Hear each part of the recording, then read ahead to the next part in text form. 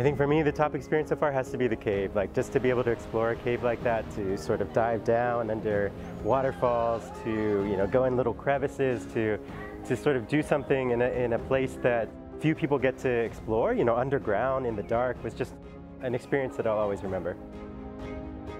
Our headlamps catching the stalactites as we descend down into the darkness. I felt like they were taking a lot of steps to make sure that it was really safe. Yesterday was honestly one of the most wild adventures I have ever done.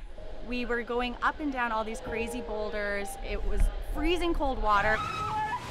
It was sort of like that cryotherapy where out in the second you get out, you're just so invigorated and refreshed, and it was so fun.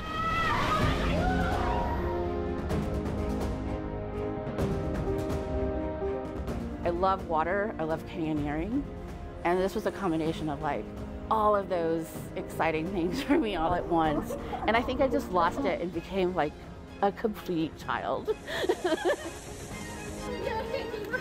Getting fully submerged in water. Like, yes, they mentioned we were gonna get wet, but I wasn't expecting to be like neck deep in water and like swimming through the cave. I'm just floating. It was like really, really beautiful and like such a surreal experience. Felt like some good real adventure.